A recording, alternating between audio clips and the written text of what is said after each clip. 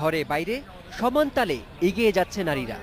শিক্ষা, চিকিৎসা, রাজনীতি ও উন্নয়ন কর্মকাণ্ড সহ জাতীয় অর্থনীতিতেও নারীরা রাখছে অগ্রণী ভূমিকা।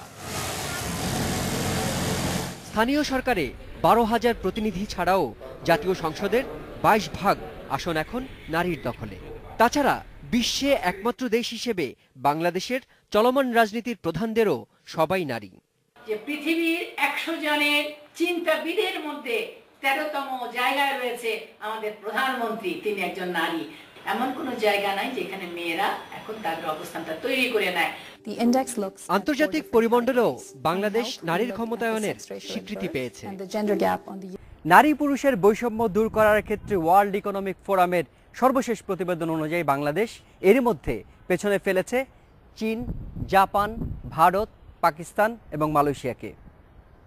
গত দশ বছরে বাংলাদেশ একশো পঁয়তাল্লিশটি দেশের মধ্যে তেত্রিশ ধাপ এগিয়ে অবস্থান করছে চৌষট্টিতম স্থানে।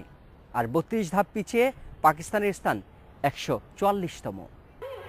দেশের প্রতিটি খাতে নারীরা সক্ষমতার প্রমাণ রাখলেও ক্ষমতায়নের প্রশ্নে উন্নয়ন পরিসংখ্যানের কাগজেই সীমাবদ্ধ।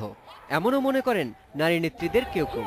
তারা বলছেন, বাংলাদেশ এগিয়ে থাকলেও আইনি প্রতিবন্ধকতা এখনও কাটেনি। বাংলাদেশে সিজ সনদের বাস্তবায়ন বেশ সীমিত এবং অনেক ক্ষেত্রে এটাকে